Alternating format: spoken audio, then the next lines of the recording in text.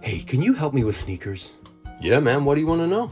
Why do kids always call my sneakers bricks? Is it because they're hard? Nah, man. The term brick refers to a sneaker that doesn't have a lot of resale value. It's the kind of sneaker that sits on shelves the way that bricks sit in a wall. Okay, they were also pointing and laughing at me when they said that. Yeah, unfortunately, bricks has also been used in a pejorative way to kind of talk down to someone for not wearing limited kicks. People really make fun of each other because the kicks they're wearing aren't limited?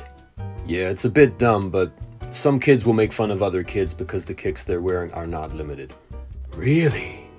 Yeah, they're generally the jealous hype beast types, though. Don't worry about it.